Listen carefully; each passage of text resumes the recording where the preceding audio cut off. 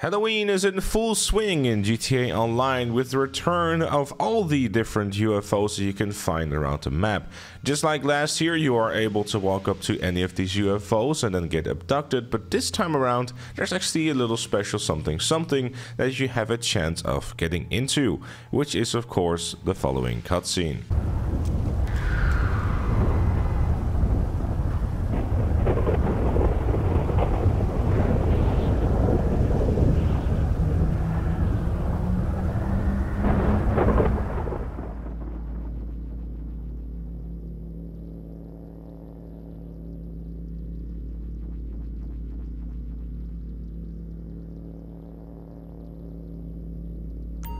There isn't really a whole lot to the room itself, but once we go outside of this room, stuff gets a little bit more interesting. Apologies in advance for the somewhat shoddy camera movement here, because, you know, didn't have a whole lot to work with.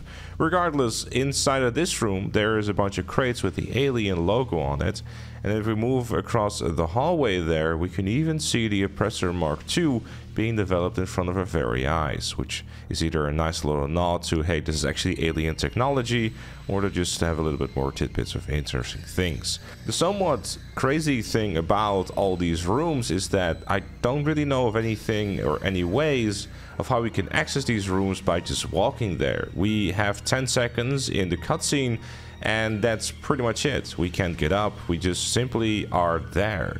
Unless the version that I got to play didn't really have the option to do so and maybe the live game will be different, but I pretty highly doubt that. The even more interesting thing is this mirror over here. There's four different signs on there and the first one is actually on the room that we are laying in which might bring some speculation about whether or not there's more to this than we actually know at the time of recording. As of how you can get here yourself, there is a 25% chance while getting abducted by one of the UFOs that you end up here. Now, of course, this is a one-time only deal and upon doing so, you'll also receive a question mark, question mark, question mark t-shirt, which looks like this. There's also a completely random chance of spawning in front of the building where we were inside during the cutscene. This is of course in Fort Zancudo and yes, you will probably get attacked by the army. I'm not entirely sure if you will also get a wanted level if you have a hangar inside of Fort Zancudo. I would assume so, but feel free to let me know inside of the comments. If you're doing this in an invite only session by the way, make sure to wait 5 minutes before trying to get abducted by any of the UFOs, because that is when the event will get active. So the ideal way of going about this in my opinion would be to enter a session during daytime, then wait 5 minutes and then wait for it to become night and the UFOs to show up, then get abducted and then I guess start crossing your fingers if you get the cutscene or not. There's a 25% chance, honestly, it should only take you a few tries until you get it, unless you are really extremely unlucky.